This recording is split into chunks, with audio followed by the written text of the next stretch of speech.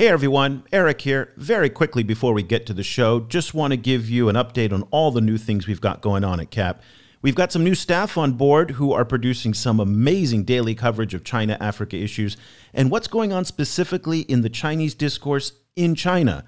Now, this isn't the propaganda stuff I'm talking about. Instead, what we're doing here is providing you with the translations and analysis of all the conversations that are taking place on Chinese social media, new research papers, think tank reports, and lots and lots of primary source material. This is the kind of thing that's just not available on Twitter or in mainstream news coverage. Plus, we've got a lot more Middle East, North Africa coverage now available on the site, and we'll be expanding our focus to other regions in the global south in the months ahead. So, if you're interested in what China's doing in Africa, the Middle East, and the global south, you'll definitely want to subscribe. We've made it super easy and really affordable at just $7 a month for students and teachers and $15 a month for everyone else.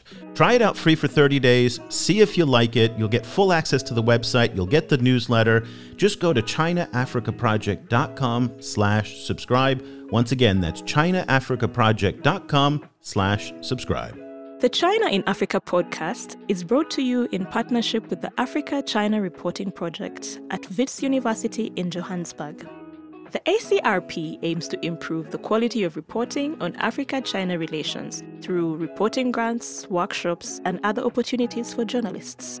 More information at africachinareporting.co.za and our dedicated training website at africachinatraining.com.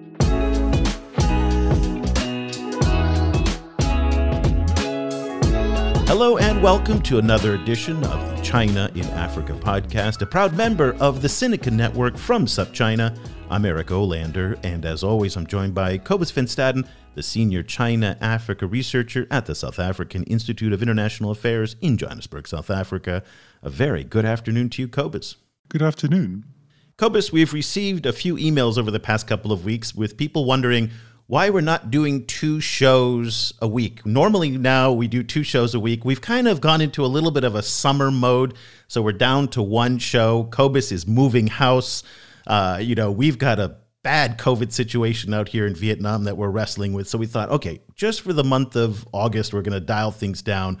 Uh, I'm sorry, July. And then into August, we're actually going to start ramping things up again in the run up to FOCAC. So Rest assured, for those of you who've reached out to us, we're very grateful that you want more of the shows, but we're taking a little bit of a break and dialing things down just for the summer. And then in August, we'll be going back to our two shows per week schedule. So look out for that. Today, we're going to be focusing on China and South Sudan. This past July 9th was the 10th anniversary of South Sudan's independence. But as we look back on the past decade, since what is effectively the youngest country in the world became fully independent and broke away from Sudan, there really isn't a lot to celebrate. Just two years after it gained its independence from Sudan, South Sudan's new president back then, Salva Kiir, accused his former deputy, Riek Machar, of trying to orchestrate a coup. Now, that then set into motion a horrifically violent civil war that's claimed at least 400,000 lives and left, uh, some estimates have it, around a third of the population displaced. Now, the first ceasefire came back in 2014, but it didn't last very long, by the way. But the good news coming out of that 2014 ceasefire is that it prompted the creation of something called IGAD, or the Intergovernmental Authority on Development, that's made up of eight regional countries, as well as the African Union, the United Nations, the European Union, the UK, the US, and China. Now, China at first glance, and this is something that is still very interesting today, doesn't seem like it fits into that group, given that Beijing is not usually seen as an international mediator, much the way that the United States, the UN, even the European Union have over the years. But take into account the fact that the Chinese state run oil company, CNPC, which is the China National Petroleum Corporation, owns a 40% stake in South Sudan's biggest oil fields and has invested billions and billions in oil related infrastructure. So the economic interests from the Chinese in South Sudan, as well as in Sudan, are quite intense. And it has a vested economic interest to try and help stabilize that region, not only just because of the economics of it all, but also because of China's emergence as a much bigger player in Africa since 2010s into, into the 2020s. And to do that, China signed on to, let's see, the international arms embargo against both warring parties. It's provided considerable aid to both sides, including now vaccines as well as PPE and COVID relief. It's one of the few instances, and this is something that's very interesting, which we're going to get into as well, where Beijing has actually worked closely and constructively with the US. You know, this is highly exceptional now, but this has been one of the places where those two countries have actually put aside a lot of their other differences and collaborated in the name of the IGAD peace process. And then early on in the conflict, all the way back in 2012, China deployed its first ever contingent of combat troops to join the UN's peacekeeping operation there. But let's fast forward now all the way to the present. And China's interests in Africa have changed a lot since 2011. It's grown weary of many of the risky investments that it made back in the early stages of its engagement in Africa. It's also now diversifying its oil supplies. So it's not depending on African oil exports anywhere near as much as it did a decade ago, now that it's buying more from the Persian Gulf, from Russia, the US, and Brazil. So, Cobus, that's a very brief overview of what is an incredibly complicated issue. And I had to skim things, otherwise, we'd be here for 10 minutes, 20 minutes just going through the introduction. But it really kind of points to why there's an important discussion that's now underway to gauge China's interest in helping to re energize this peace process in South Sudan that it was so instrumental in five, ten years ago. But one has to wonder if it has the appetite for it today.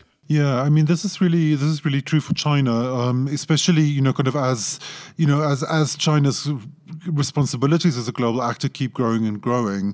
Um, on the other hand, it's also true, I think, for for, for several of the other actors, you know, um, including the U.S., which which was a very strong kind of uh, supporter of, of of South Sudan, Sudanese independence originally, and you know, kind of the it's it's kind of sad outcome, you know, is is now kind of tarnish that that kind of that process somewhat. Um, I think you know, like everyone, everyone wants the South Sudanese peace process to work. Um, not least because because it's a it's not only a very young country, it's a very poor country. Um, and you know, I, I, think I think everyone on the continent wants it really wants it to work. I think where where it really the the, the difficulty is actually making it work, and particularly kind of like fi- finding ways and finding leverage to get to get the different South Sudanese uh, parties on board. Well, let's dive into this and find out more. And that's why we're thrilled to have back on the show again uh, Benabdallah, who's a well known China Africa scholar at Wake Forest University in North Carolina in the U.S. She's also the author of the book that came out last year, Shaping the Future of Power Knowledge Production and Network Building in China Africa Relations. If you haven't read that and you're listening to this show, shame on you. You have to go out and read it. is now on the reading list of basically every China Africa graduate class out there. It's a must read. We did a, a, show on it, so go through our archives and you can find our discussion with Lina on that. Also, Lina is a non resident senior associate at the Center for Strategic and International Studies in Washington. Lina, it is wonderful to have you back on the show again. A very good morning to you in North Carolina. Good evening and good afternoon to you, Eric and Cobus. It's uh, wonderful to, to be back on the show with you. It's great. And uh, last week, listen, you and I were on a fascinating panel that explored China's role, exploring this question of re energizing the peace process in South Sudan. Now, that event that you and I were in and that you moderated and I hosted uh, was an invite only event, so it wasn't open to the public, but the organizers and the participants graciously allowed me to record the discussion, and we're going to play some of the highlights today to get both yours and Cobus's reactions to some of the comments. I've evenly divided the comments between Chinese perspectives and African perspectives, including some from South Sudan, which we'll get to. But I think first, before we get to the sound bites and those perspectives, it would be great if you could help us better understand China's role in South Sudan and why it's important. Just give us a very quick high level overview, picking up on some of the points that I made in the introduction. Uh, yes, um, and so as you mentioned, um, uh, uh, Eric, a lot of the story of China South Sudan is a, actually a story of China balancing its engagement uh, between the North and the South, between Sudan and South Sudan.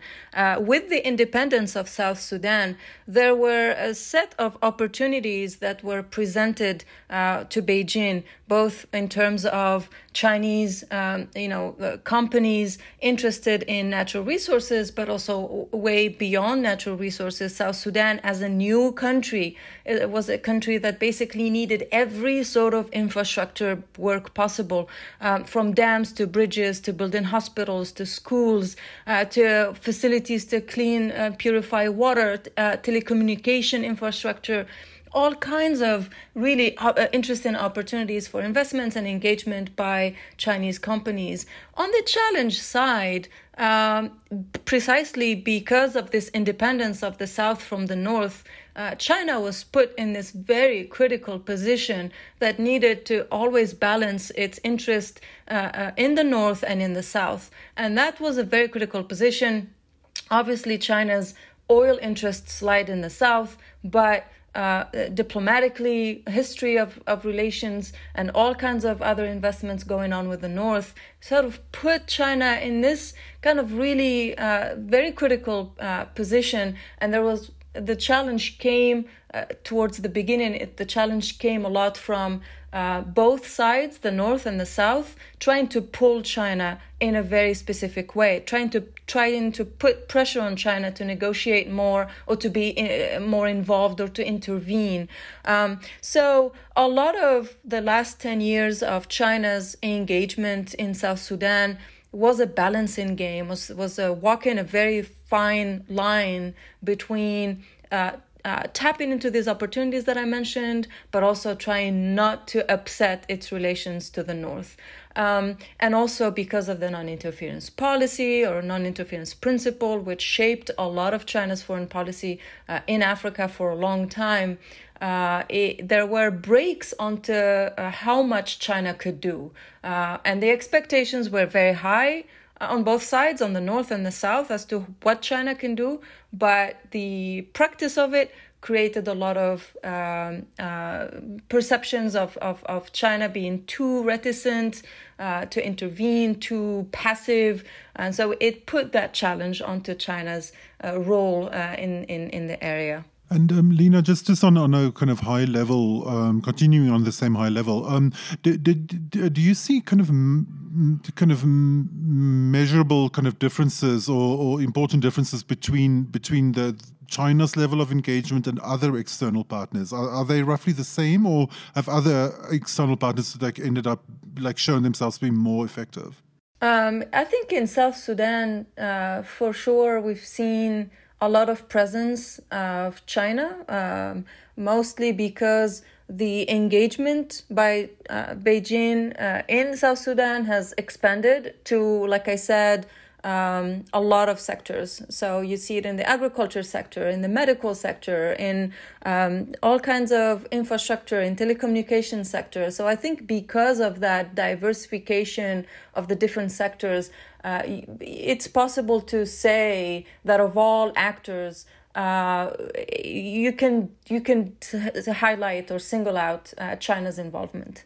And not to mention, of course, the presence of armed combat troops that are there as part of the UN peacekeeping operation. So that's a indeed that's a big one. Okay, let's start with some of the perspectives that we got during the conversation. We're going to start with Paul Nantulya, who is an old friend of the show, an old friend of yours. He's a research associate at the Africa Center for Strategic Studies in Washington D.C. And his point that he made in our in the conversation was the timing of the conversation that we're having right now at this moment comes right in between two very important milestones. So, in the July milestone, we have the 10th anniversary of South Sudan. But coming up in September, we have the Triennial Forum on China Africa Cooperation Summit, where we are going to get the first look at the blueprint that China will have for the next three years of its engagement in Africa. And that will give us a real good indication of where it stands on issues like South Sudan. Let's take a listen to what Paul Nantulya had to say. It's timely for, for two reasons. One, uh, there's the FOCAC, the FOCAC meeting that's coming up uh, which is going to be a very important uh, meeting. Uh, FOCAC is now uh, 20, 20 years old, and there'll be a lot of reflection uh, by the Chinese side and the African side in terms of where this partnership is going in future. FOCAC uh, has adopted explicitly uh, peace and security, as well as peace building, peacekeeping, and peace enforcement into its uh, into its uh, agenda.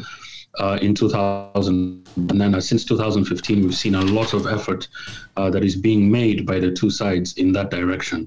So South Sudan is extremely important, and um, I think the the developmental peace theory is something that I think is going to is going to be front and center uh, as FOCAC moves forward.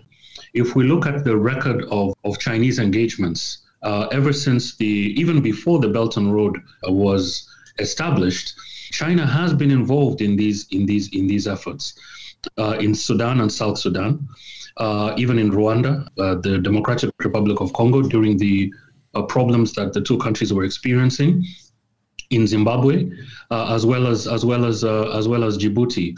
Uh, China has also had these peace building um, activities in other countries, places like Syria, Afghanistan, Myanmar, and many other places. So I think it is it is you know since since 2013.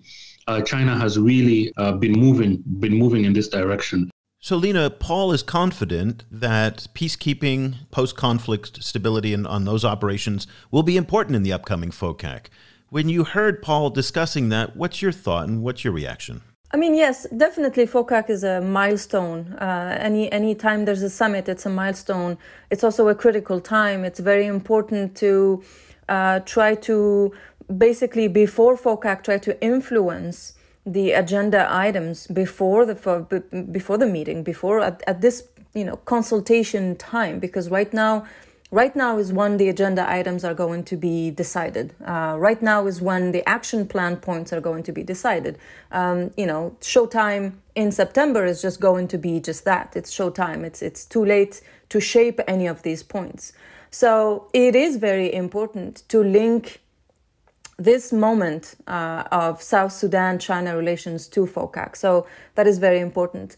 Um, when I hear him speak about the developmental peace approach and, and, and, and, the, and the centeredness and importance of peace and stability to FOCAC, I agree with that 100%.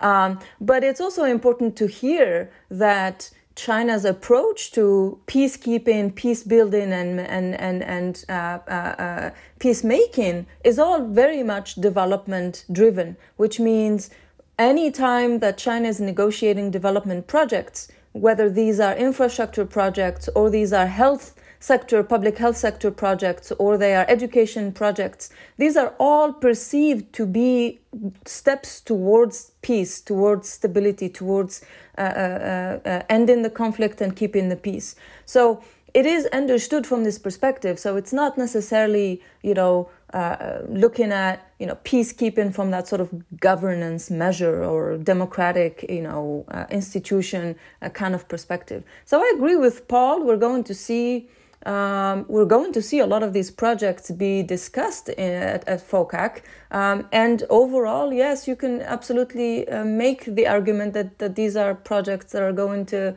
um, uh, contribute to peace uh, building and peacemaking in South Sudan because of the link that uh, in, in, in, in sort of in this uh, developmental peace uh, thinking that development is deeply linked to security, deeply linked to peace you know, in, in, in the discussion of, of developmental peace, um, uh, I've I, you know I've seen it kind of reduced to to the to the idea, um, you know, a contrast between between maybe which you frequently ascribe to, to Western thinking that this this idea that one needs peace in order to have development, and then you know the uh, kind of countered by a Chinese concept of of you need development in order to have peace, or you need to at, at least you, need to kickstart development while the peacemaking is still is still going on.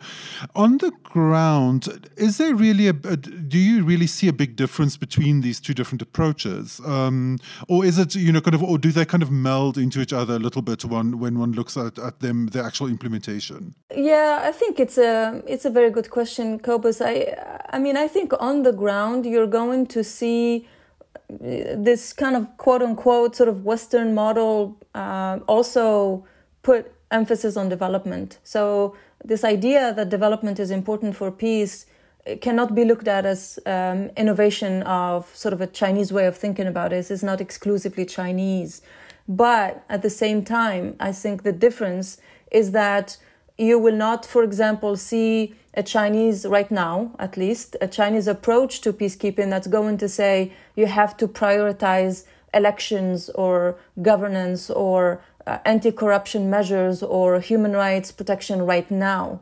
Those things are going to, uh, are secondary to providing economic opportunities, lifting people out of poverty, giving jobs. Uh, and so the, the, the philosophy of peace is understood as coming from economic growth, coming from economic development, and not from basic rights uh, in in the sort of that liberal uh, uh, understanding of you know so democratic rights and freedoms and all of that. So the approaches are slightly different on the ground. I think.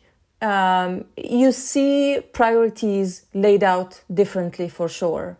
Uh, in the in the sense, as I mentioned earlier, then the, there's a there's a focus mm, that I've noticed just from fieldwork and from my own research on the Chinese side. There's a huge focus on just providing opportunities for young people to get training, to get skills, to have jobs. To, and that's the thinking. Now, whether it works or not, that's the, we can talk about that later. But the idea is that you have to start by providing opportunities for economic growth um, and not necessarily starting by organizing elections or by thinking about you know all of these uh, kind of you know values norms that are you know broadly typically attached to liberal peace. Um, so so that's that that's that's the the main difference from from my view. But I really would like to emphasize that you know that um, focusing on development is not uniquely Chinese um, in per se it's interesting you bring up this this idea that there's differences and differences in expectations as well because that was one of the themes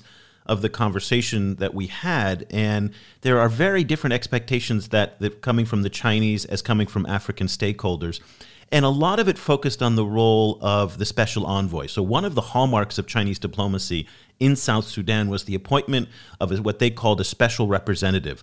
The first special representative to that role was Liu Guijin, followed by Zhong Jianhua, and it's been one of the highest profile diplomatic postings for the Chinese in Africa.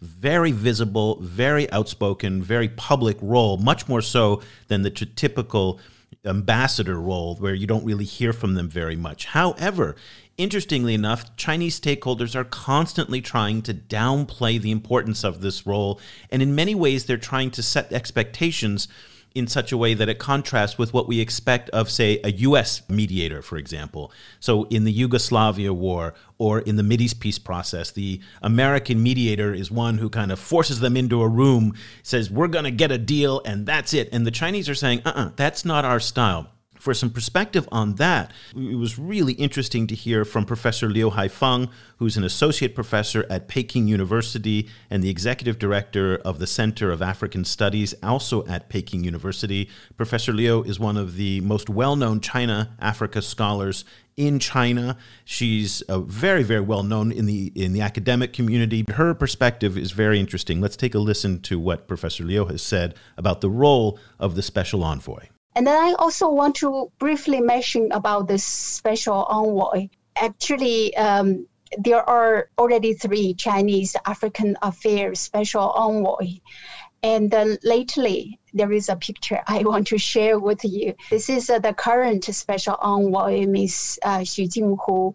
And then uh, she made a talk in the spring this year uh, and then there are lots of uh, Chinese scholar participated. I was also very luckily involved, and then uh, I asked uh, this ambassador Xu this particular questions about this mechanism, how she defined this uh, Chinese special envoy mechanism, and then uh, here I quoted from her. She said, "This mechanism, since the beginning." Has been uh, very clear uh, that the goal is just to enhance African solutions. Um, I remember lately we been my my students and I we interviewed the first Chinese special envoy, Professor Ambassador Liu Guijin. He emphasized again for many times that we um, uh, we cannot even call ourselves mediator. We uh, probably mostly correctly call ourselves promoter for peace because uh, there is no Chinese mediation for, uh, formula, no any special spe- suggestion about what South Sudan should go forward. Rather, it works with IGAD. So this came as a bit of a surprise, I think, to a lot of African observers and maybe even other outside observers. Again, how Professor Liu is trying to downplay expectations. The Chinese are playing a much more passive role than a traditional mediator. Talk to us a little bit about what you thought of those comments. I, I, I think with with great involvement come great expectations, and um, uh, basically playing up the role of negotiating or mediating um, sets the bar high, sets the expectations high. And uh, of course, after years and years of experience with the issue, as we've heard uh, on, on, on the panel, we we learned that possibly uh, the Chinese special envoys perhaps are readjusting the expectations, perhaps lowering a bit the bar because uh, because then the expectation is going to be you know higher than than what can be delivered. So being a little bit more realistic about what can be achieved. Um, and so, I mean, I, I think that's that's one thing that came to my mind. The other thing that came to my mind was, um, in a way, you know, if you have it, it, it's it's a, it's a really difficult kind of conundrum. You have external players who are very uh, influential, like China, and on the one hand, you have um, this idea that you don't want to put the peace process only in the hands of external actors. That's not going to work out. But on the other hand, part of me, when I hear, um, you know, kind of deflecting that responsibility to South Sudanese people themselves, it kind of seems like you're on your own now. It kind of seems like yeah, like what's the point then? I mean, exactly. If you're not, I mean, if you're just exactly. going to take a passive role, then what's the point? Yeah, exactly. Then then you're just giving up in a way, or just kind of you know, letting them kind of figure it out by themselves, which I guess, you know, is on the one hand, it kind of makes sense when you say it theoretically, but on the other hand, there's a lot more at stake in this than South Sudanese internal players only. I mean, obviously, we can talk about the oil uh, uh, uh, sector, we can talk about all kinds of other interests that are overlapping there. So, yeah, I mean, it's it's a bit unsettling for me when uh, when I think about that question. Yeah, but Cobus, the problem that the Chinese have is that they're bound by their non-interference doctrine which says that they will not interfere in the internal affairs of another country. Their presence in South Sudan is at the invitation of the South Sudanese government under the auspices of uh, IGAD and the United Nations. So they themselves, Beijing, will not insert itself actively in the process because that could be construed as violating the non-interference doctrine. How do you see that balance that they're trying that they're trying to strike? I mean, this their involvement in, in the mediation process has always been characterized as as uh, you know kind of testing the limits of, of the non-interference doctrine. So I guess this is you know this is what it, what that kind of turns out to be. Um, I was I was intrigued by the phrasing that that they're there to support African solutions, um, which obviously you know that that kind of that the, the language of African solutions to African problems goes back to to South Africa's former president Thabo Mbeki you know, kind of he's, he was really kind of pushing that kind of Africa-centered uh, conflict resolution model, um, and you know, so so I was wondering whether whether there was any implication there that that they might that they're kind of working behind the scenes with other African actors, including the African Union or you know, kind of other you know, kind of border states and so on, because of course in, in the South Sudanese conflict, some some kind of border states or, or, or neighboring states are, are involved. So you know, so so it, it, it kind of opened this kind of interesting door while seemingly also trying to kind of, as, as Lina said, trying to kind of lower expectations all around.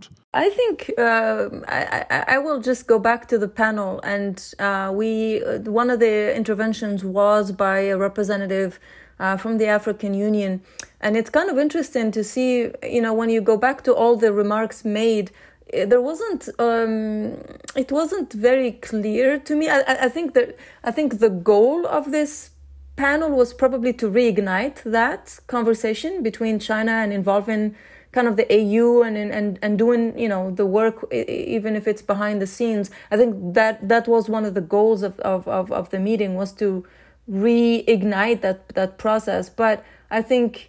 Um, it wasn't very clear to me that at this time there is a lot of work being done. I think the idea was that uh, that you know that that the issue has been kind of put aside and that um, that uh, stakeholders would like to see more engagement on the part of China, uh, whether it's through the AU or or um, regional actors, uh, to, to to to go back and, and try to push forward um, the peace process. Yeah, and it's definitely the case that the current special representative is nowhere near as visible as previous special representatives. And one of those previous representatives, Zhong Jianhua, was actually there. And for those of you who are not familiar with Ambassador Zhong, um, he's the former special envoy to South Sudan. He was the second special envoy to South Sudan. He's also the former ambassador to South Africa and he spent nine years on the Sino British Joint Liaison Group that negotiated the 1997 handover of Hong Kong from Britain back to China. So that just gives you an idea that this guy is a heavy hitter. And just the idea that they were putting their top tier diplomats, and these guys were in front of the cameras all the time. That being said, I think he's retired now, so he he's not in active service. Uh, but it was it was really exciting for me that he was there because uh, we've never had the chance to have him on the show or to speak with him, or I've never even heard him in an interview because all of his comments that I've ever heard are highly scripted and highly orchestrated. So it was very, very exciting to hear him in an unscripted format like this. He too focused a lot of his remarks on the role of the Chinese special envoy in this conflict and in this in this process. And he also echoed what Professor Liu was saying in terms of managing the expectations of what China can actually accomplish in this kind of diplomacy. The role of China in the peace process of South Sudan should never be overestimated. My personal feelings that when I first entered into South Sudan process and the talk with so many peoples, I really was shocked to understand it's a, such a complicated case for, for us. Particularly, it's a challenge for Chinese. In our sense, a country, a state, in our understanding and explanation, is completely different from most of the politicians I met with in South Sudan. And uh, sometimes I do have the doubt that are we talking about a country, a fate of a country, a future of a country, a future of people? And uh, sometimes give the sense that seems we are talking about somebody else. So I think uh, maybe I, I, I really feel humbled to, to, to suggest this. A sense of country building for this young, it's already 10 years now. 10 years anniversary just been celebrated, but uh, still to building the consensus of a country of South Sudan probably is the most important thing. When you reach the consensus, you have the hope to build the peace. If, if some of the people there who is still playing an important role in the political life in South Sudan think they can take a piece of this and piece of that. It is difficult. It is difficult. Particularly for us. I think I it took me several years to understand this. It was certainly took a longer time for a lot of people from China to understand to understand this. So we always think if we want to solve the problem of South Sudan, it must first come the South Sudan people themselves then the neighboring country, the regional country, then the AU, then the outsider. However active we want to be to play this, the consequences could never change. That's my humble opinions. Thank you very much.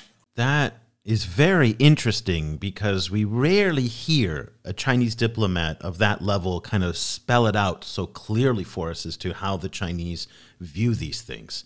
And again, it, it says we can't do anything unless you first reach some degree of consensus. That does kind of make sense, don't you think?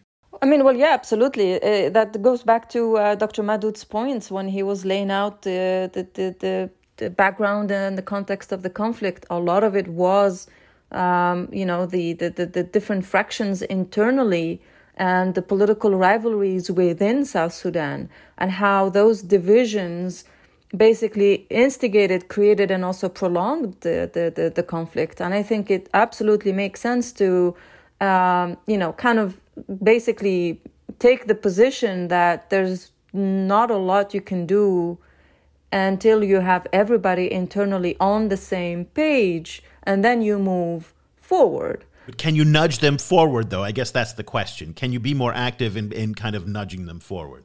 Exactly, and that's that is the point. I mean, we heard that come out of uh, you know Dr. Madut's comments as well. In in a way, he said he said we, we sort of need these other external stakeholders to play a role in putting everybody back on the on the same page internally because otherwise you just have this sort of catch 22 situation where you can't do anything until there's consensus and you also cannot reach consensus if other incentives are not created both internally and and, and externally. So you know otherwise you know you, this is the, the, you know the classic definition of a stalemate. Uh, and that's what the, the whole goal of this is to move the needle a bit on this conversation and try to inject a bit of energy towards you know trying to do something um, uh, to, to, to basically you know convene all these conversations that need to happen so the Dr. Madut that Lina is referring to is the Professor Ekok Madut, who's an assistant professor at the University of Juba, and we're going to hear from him later on. Cobus, let's hear from you now, though. Lina, did, did you get an impression that that, that China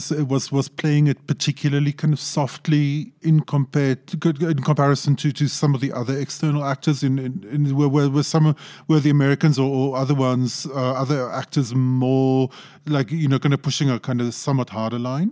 Um, I didn't really get that impression, mostly because the f- greater focus of the conversation was uh, specifically on China, so it wasn't so much sort of a, in that comparative angle. But what seemed to me um, to be the case was because of China's um, greater involvement with Sudan and with South Sudan, uh, it just gave it a lot of visibility, and that great visibility gave a lot of expectations as to what role China can play.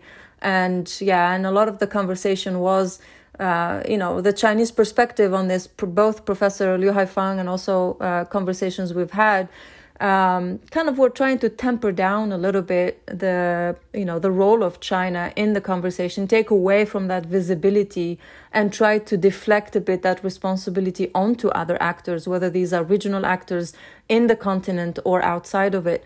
Um, but it didn't seem to me like the conversation was thinking about. I mean, the U.S. was mentioned maybe one time, but it wasn't uh, very kind of clear what expectations were put were put on other actors. It seemed the conversation seemed focused mostly mostly on China. And that might also be because I think there's a sense of fatigue in Washington about South Sudan. You know, there was a lot of excitement in Washington uh, early on because the Christian right was instrumental in the creation of this of this young country and this new country. And then when it didn't go according to plan, Americans kind of backed off and they moved on to something else. And I think there's been a difficulty in mobilizing interest in Washington to re engage this process as well. It does feel futile to a lot of American stakeholders. I'd love to be able to speak with somebody on that, so we'll be looking for a guest on that. But there is one word that came up that really was interesting, and it's the word passive. And let's stay with Ambassador Zhong because he used this word passive, and it's again, it's our theme of the Chinese approach to this diplomacy, but it really sparked a very interesting conversation with Dr. Madut as well. Even in my time, I travel there so many times every year. And eventually I realized that the role China can play here is mostly a passive, passive role.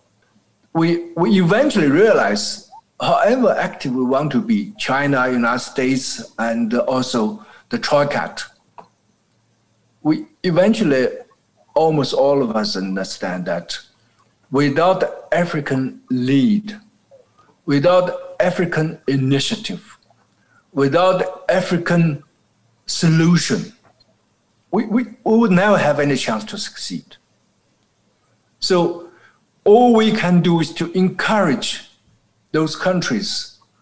Of course, South Sudan is the first, and all the IGAD countries, to take the lead, to take the responsibility yourself.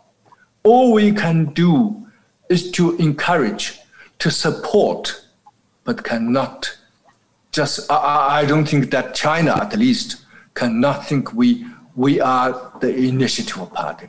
So that word passive it got a, it got an immediate reaction from from Dr. Madut uh, from University of Juba. He said, "No, no, no. We need China to be active."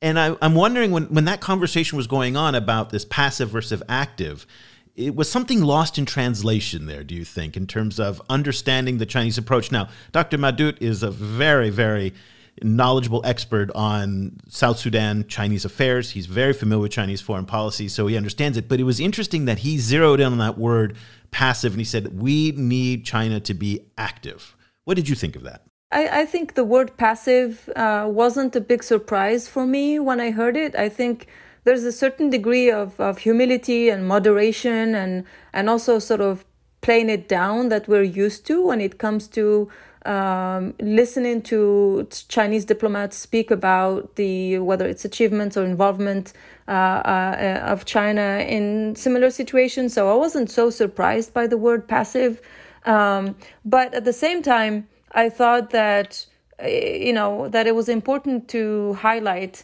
um, the other side of it, which is what Dr. Madut uh, was trying to to say. There is that you know it, it's it, it could be it could be viewed as the easy way out. It could just be viewed as you know the the um, the, the, the, the least costly option is to basically say um, you know we are not here to do much and we cannot do much and therefore um, you know we, we, can wait and stand by until there's some consensus reached and then we can uh, move forward.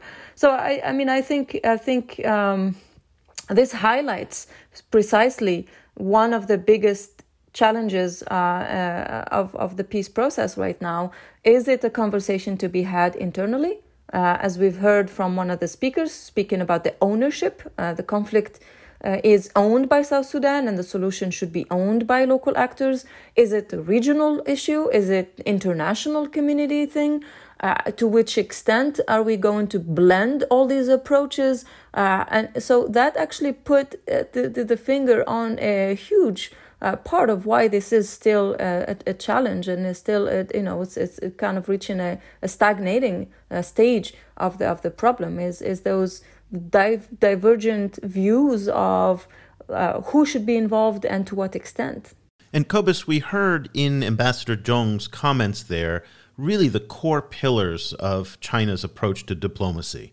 Again, it is about consensus based. It's about having African solutions. It's not imposing Chinese solutions. It's a real contrast in many ways to the US Europeans' approach, which is oftentimes much more assertive in its diplomacy. I think it also it, it, sounded to me also that like it was walking a line um, where it was, was really trying to to kind of uh, to emphasize or, or, to, to, to, be sensitive to African concerns about um, you know encroachments on, on African sovereignty. Um, you know, so so you frequently hear when you speak to African diplomats or this, you know uh, the, you you hear the, the, the kind of crisis and then the NATO invasion of Libya in 2011. You hear that come up surprisingly often, um, and and the the you know kind of the, the wider kind of like issue of regime change or like external externally forced regime change still comes up a lot in, in, in discussions. And it, it, it, seemed to me that that that was also kind of a, a nod in that direction. You know, kind of that that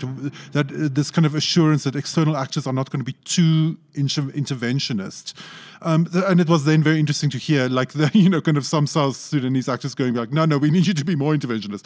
No, um, no, and and, and and to be fair, the, the, South Sudanese representatives on the panel and the African re- representatives on the panel were very enthusiastic about Chinese engagement. And it's it's interesting because if you're sitting in a place like Europe or the United States, I think you're unaccustomed to seeing such an embrace of the Chinese in this kind of diplomacy, given the current temperature in those two regions. So let's get to uh, Dr. Ekok Madut, who is that assistant professor at the University of Juba, who Lina mentioned on, on a couple of occasions. He, again, very, very knowledgeable on these issues, and he really had nothing but nice things to say about China's historical role in the South Sudanese peace process. I'm trying to em- emphasize the importance of partners in the implementation of the RRCs and the long-term peace in South Sudan. And I believe China is an important factor.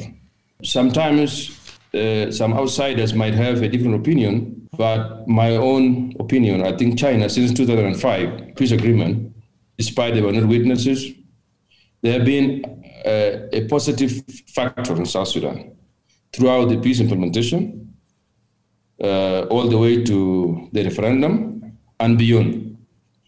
Uh, also, during this conflict, China played a very major role.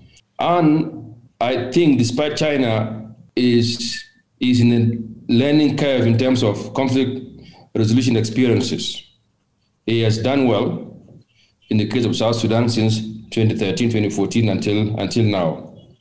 So China should take a lead because China has an economic interest that requires stability.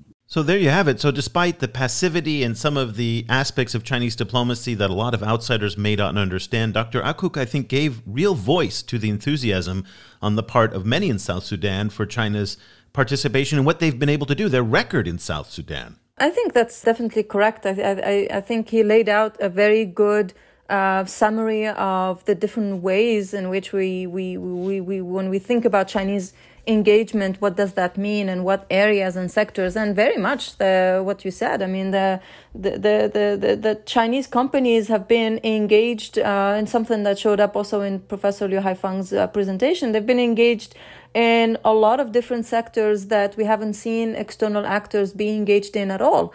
Uh, because with the independence of a country, you just have all kinds of things that you have to build, uh, a lot of it from scratch. And a lot of that legwork has been put by Chinese companies and has been facilitated through these uh, uh, uh, encouragements and through these relations between China and South Sudan in ways that we haven't seen other external actors at all, you know, dig deep into this kind of really, you know, basic infrastructure work.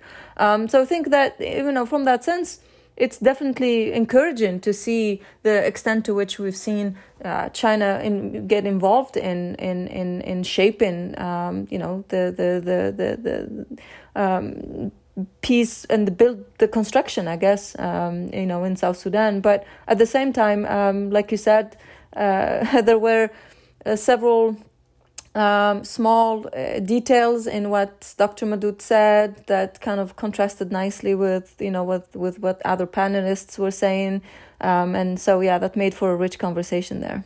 One of the one of the points that he made also is that you know is, is that China has a, a, direct economic stake in all of this, of course, in in the South Sudanese oil industry. So I was actually you know like oil, the issues around oil and, and China and Africa have, have, have, shifted so much in the last in the last decade. Um, with China diversifying its sources around the world, now buying a lot more oil from, from places like Saudi Arabia, Russia, and so on than they, they used to buy from Africa. Um, and at the same time, uh, I saw some reports recently that that um, in the first place that that the, the output from South Sudanese oil fields might be less than expected. Reuters reported that like two or three days ago, and also Petronas, the, the Malaysian oil state-owned oil company um, that, if, if I'm correct, I think was was a, a, a, an investor in South Sudan in the past, has indicated that they that they are, might not participate in, in in you know kind of in future exploration there.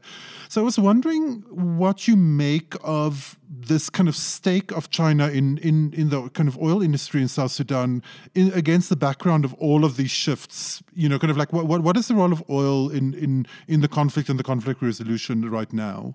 Um, I think very uh, what what I saw. I mean, obviously we all know. I mean, South Sudan's uh, basically uh, budget, uh, economic budget, state budget, is really highly dependent on petroleum revenues. I mean, I think something above the ninety percent of the budget is dependent on petroleum revenues. So they, you know, when you have a situation where you're dependent to that extent, um, then there are two ways forward. Either um, you know you have to diversify the sources of income um, and that diversification is a huge part of the conversation in terms of um, in terms of you know where the country is headed right now. Or the other the other uh, uh, option uh, or scenario is that there's going to be more conflict around trying to tap into that and having control over the that resource because it is the only one that matters right now it's the only one that matters in south sudan and that is deeply problematic um,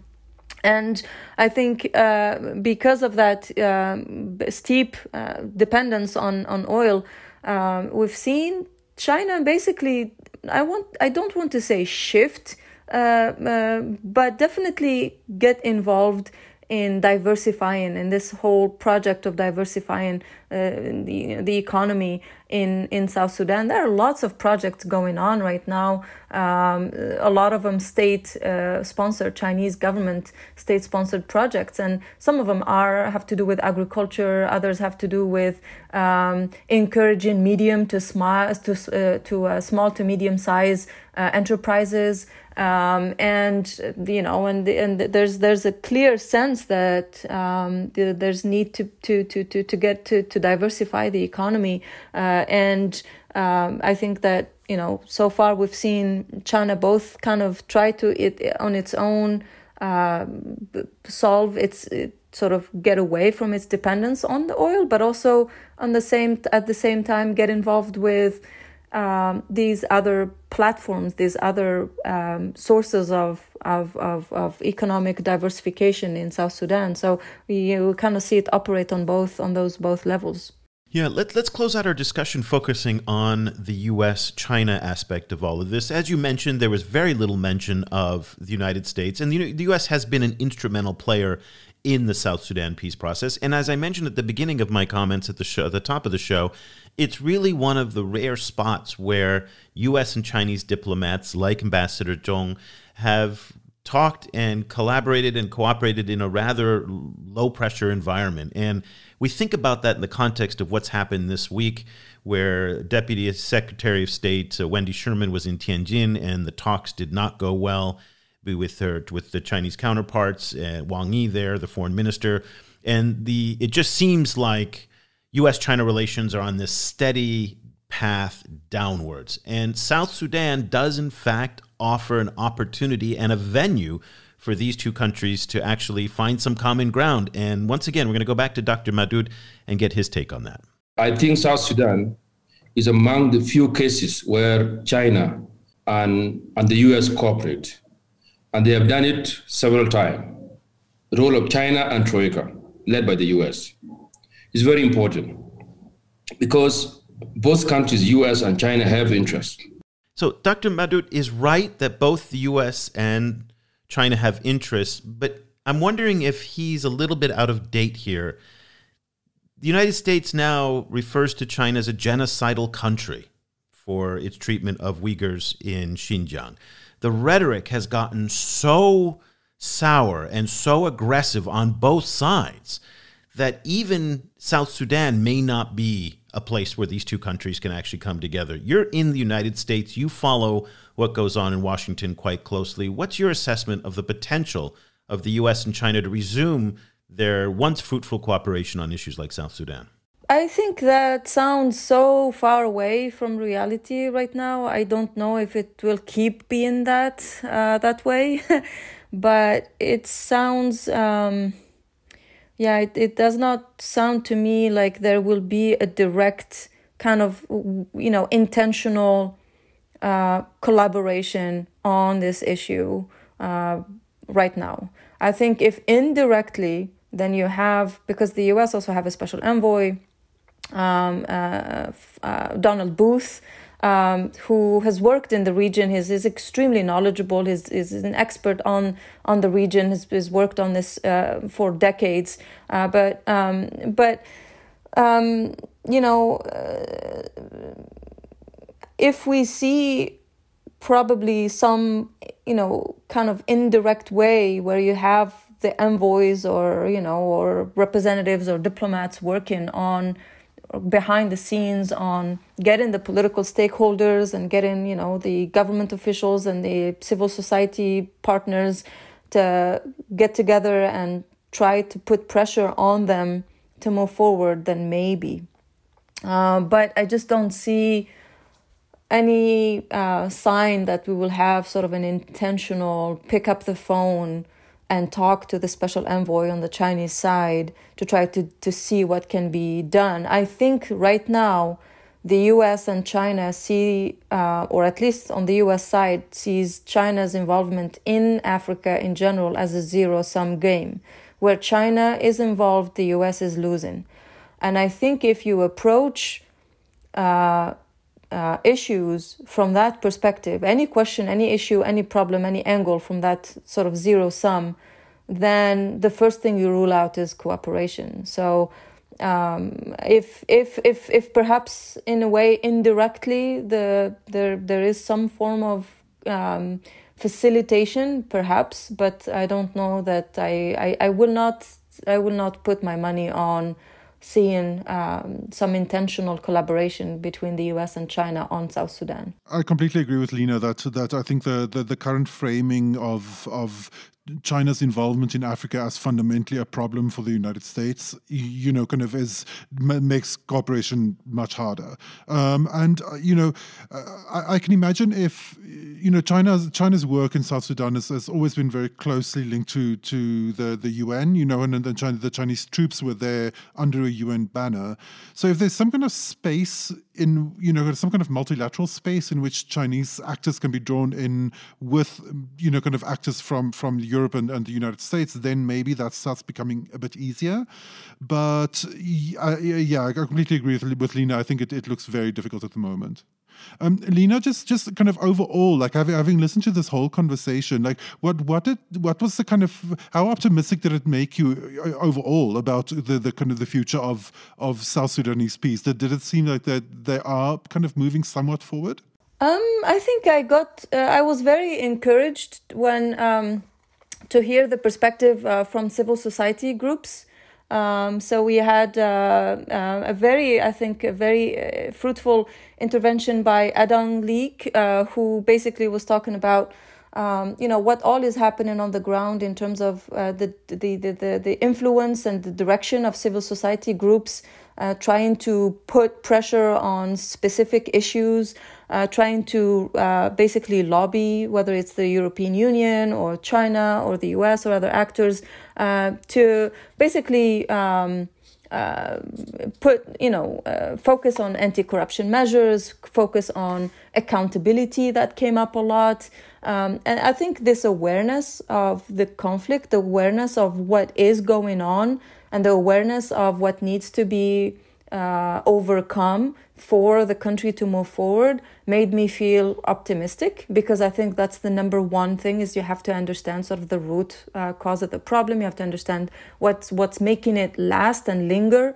And I think that a lot of that work is done by civil society organizations within South Sudan. And I was very encouraged to hear some of these activists basically lay out a very clear plan. This is what we would like to recommend. This is what we would like to see from the AU, from regional actors, from the international community. This is the kind of pressure we want to see. And I think that that was very encouraging. There was a lot of momentum going on. Um, trying to push for these. Now, when you zoom out, when you look at the, the conflict from the perspective of the international community, um, maybe the picture isn't as uh, uh, shiny for me. I think perhaps um, it's a bit more bleak because because of course because then you know then the interests of international and external actors can very much conflict with the interest of these activists because then you have a group of elites who are in the middle, who can be sort of co opted this way, or they can be co opted the other way, or they can be working against these activists and social and, so, and civil society activists, so they can be working with them. So, in a way, when you are that group uh, sort of stuck in the middle between the interests of local elites and the interests of external actors, then it becomes a little bit difficult to see um, kind of uh, you know light uh, through through that. But I mean, in general, I thought.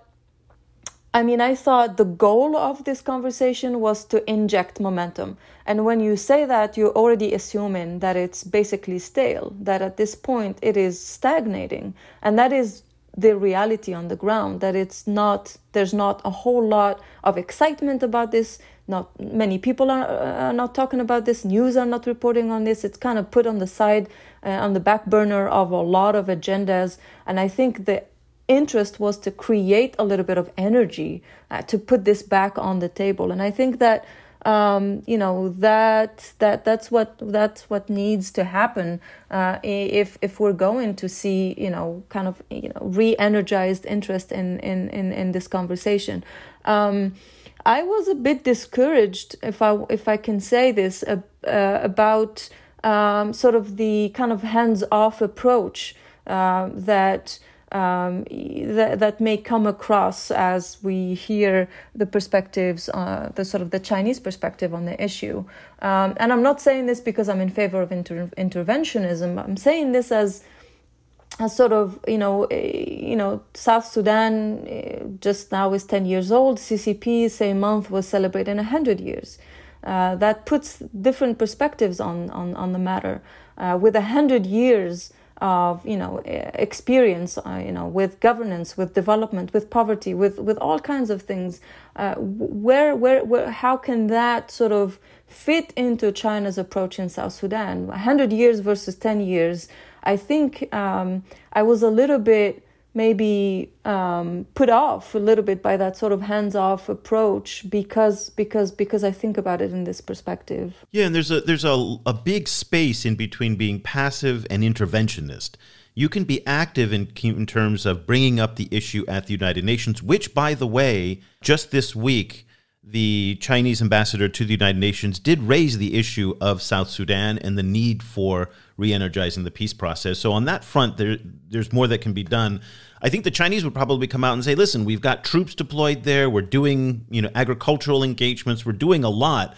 But uh, to your point, more can be done and more needs to be done in part because the peace process does seem to to have stalled we are very happy that we were able to play a very small part in hosting this discussion and honored that you served as moderator for the conversation that, again, if nothing else, just starts to get some of the people back to the table again. In this case, it was the academic and the diplomatic community.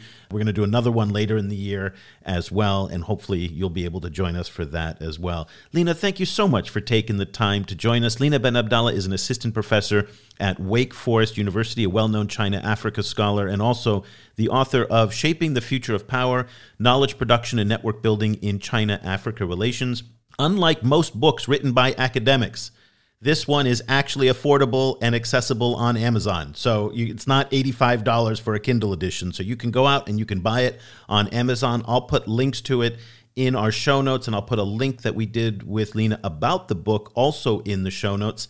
Uh, Lina, you are a regular commentator on Twitter where you're sharing ideas about what you're reading and writing. If people want to find you on the Twitter, where can they do that? Uh, my Twitter handle is at uh, L Benabdallah, so my initial and then last name. Um, so I I should be easily found there, or as you said, just looking at uh, the the links and the notes that you're going to put, that should be easy as well. Wonderful. Well, I'll put a link to your Twitter handle and the book and also your profile in the show notes. Thank you so much for taking the time. We really appreciate it. And thank you for moderating the panel. Thank you so much for having me. It's always great to join you and Cobus.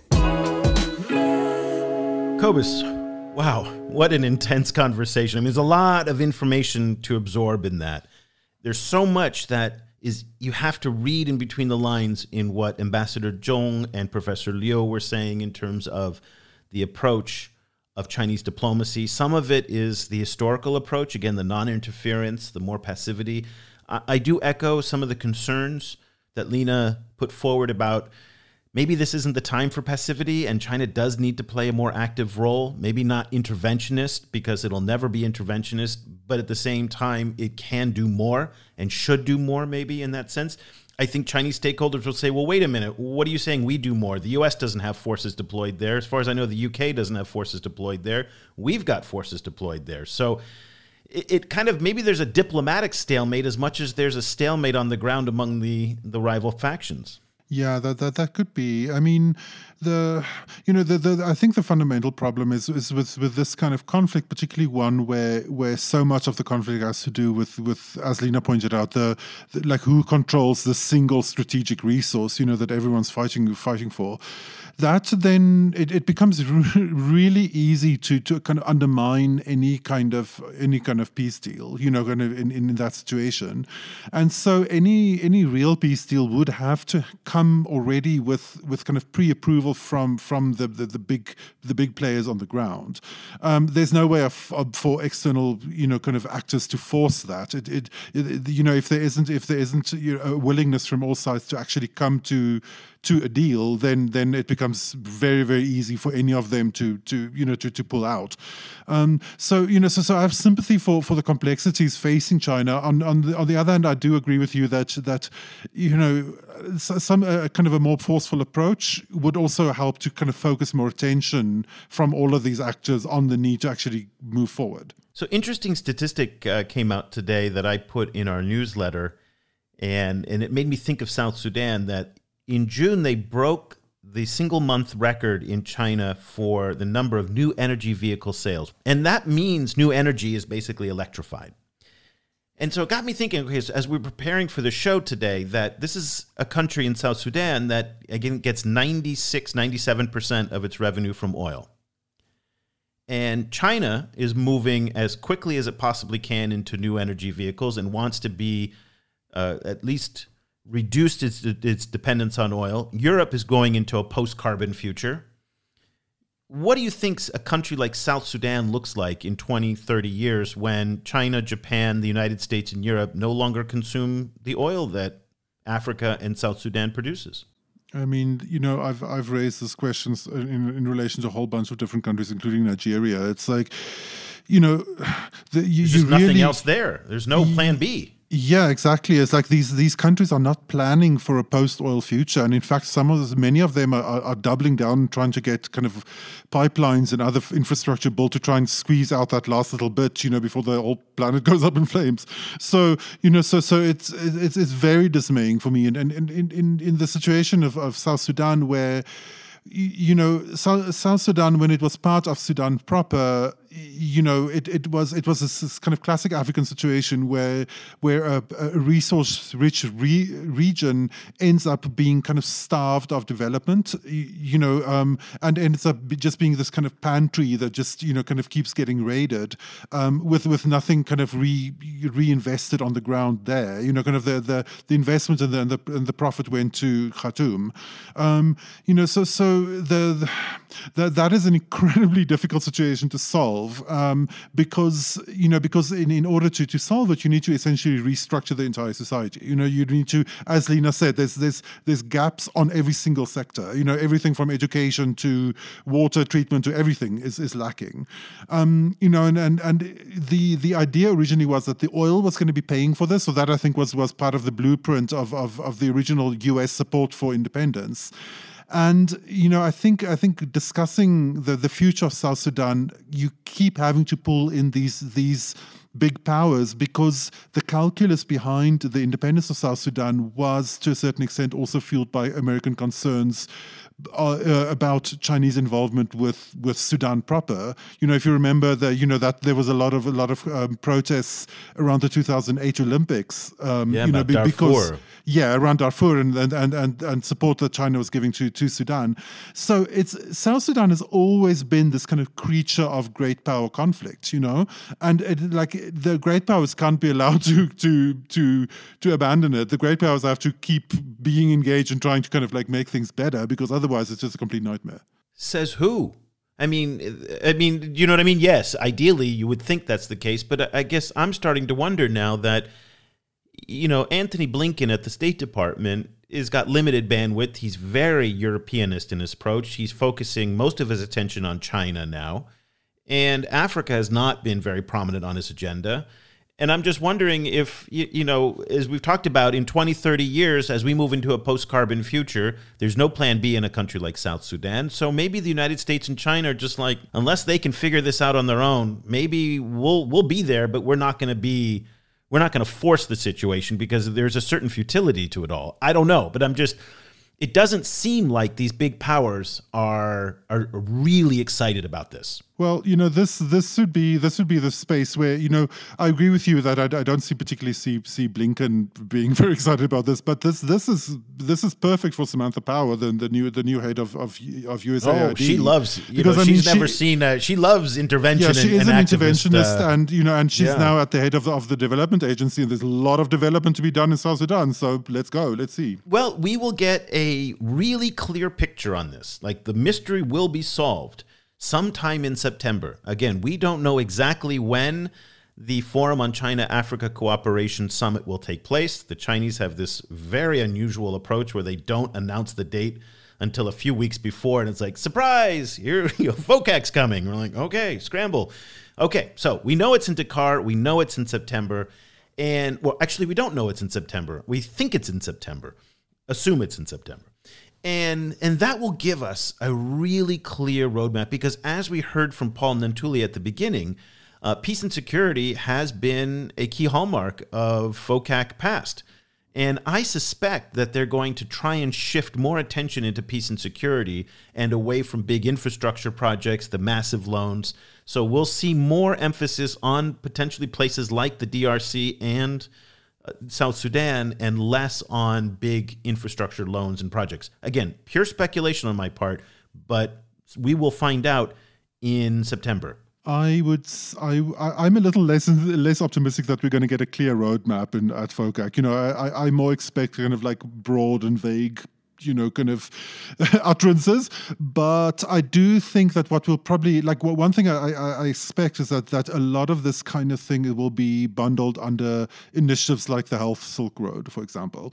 Um, and you know so, so i can imagine that that that those those kind of belt and road kind of organs could could function to to pump more resources into into areas like south sudan where they really need it hopefully Okay, let's leave our conversation there. It was fantastic to have Lina, and was really this is the first time we've hosted a a big conference like this, so that was really a cool honor for the China Africa project. We have some cool news coming next week. Uh, some really cool announcements.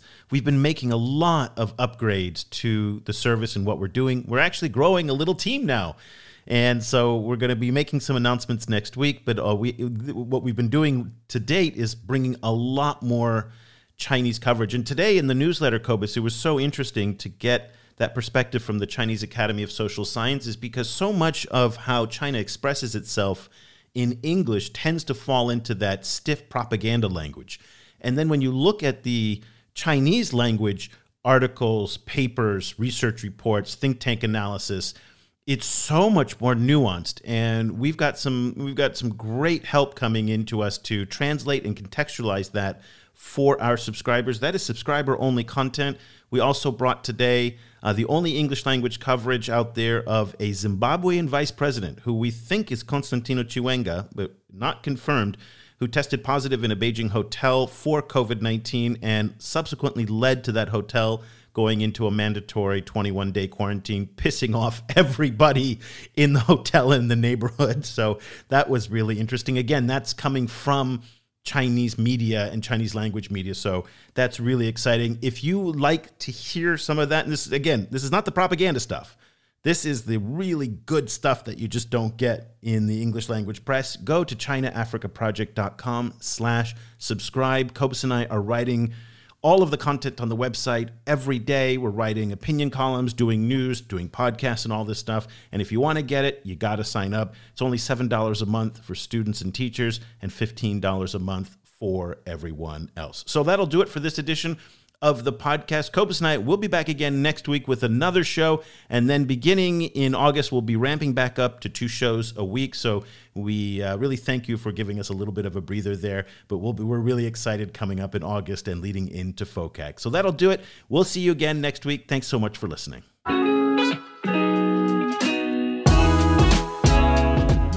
Discussion continues online. Head over to facebook.com slash China Africa Project to share your thoughts on today's show. Or follow the guys on Twitter. Eric's at eolander, and you can find Cobus at stadenesque. For more information about the China Africa Project and to sign up for our free weekly email news brief, go to chinaafricaproject.com.